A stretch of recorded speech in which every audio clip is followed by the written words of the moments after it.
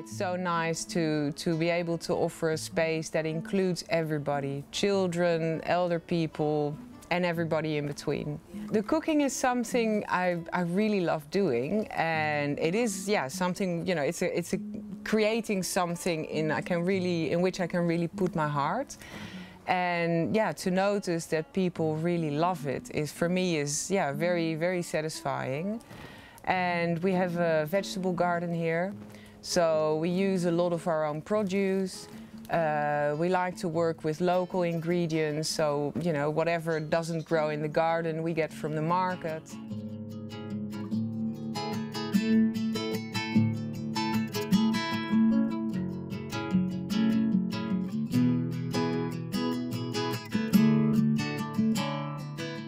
My name is Sylvia. I am a yoga teacher.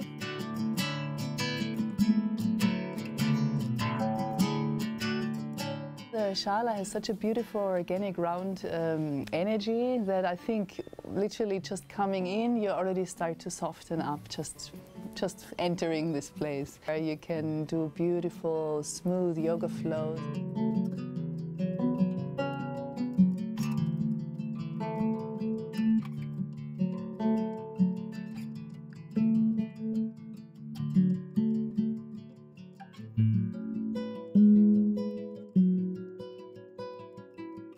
My name is Natasha and I am a humanist wedding celebrant. Casa de Laila is a venue that I just love coming to all the time. It is just so welcoming and it's just so special.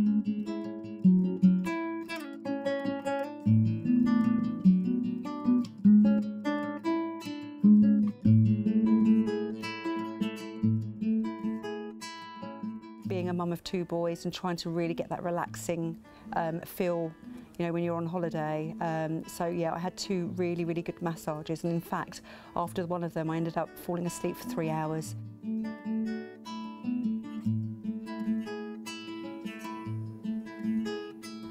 And how can you not fall in love with this place? It's incredible.